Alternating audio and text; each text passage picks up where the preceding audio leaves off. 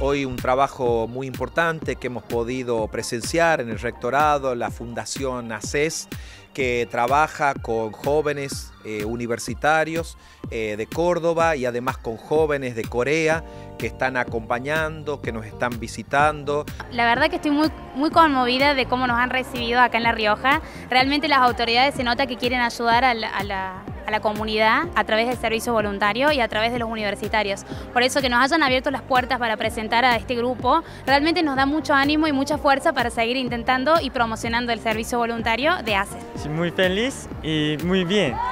Es porque, es porque nosotros podemos anunciar, anunciar en cultura de Corea. Oh, es muy difícil, ¿no? Pero los miembros, miembros de Universidad Nacional de La Rioja todo muy bien, todo muy hacer bien. Por eso, por eso muchas gracias y muy feliz ahora.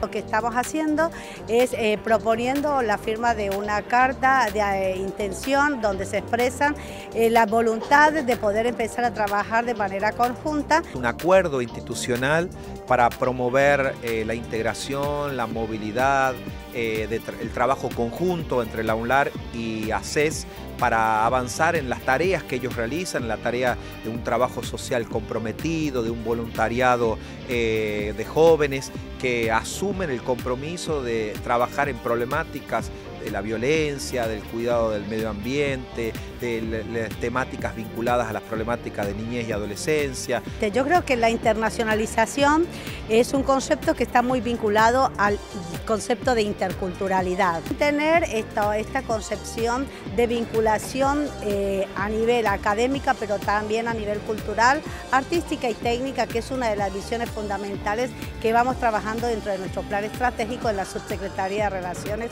Internacionales. relacionadas.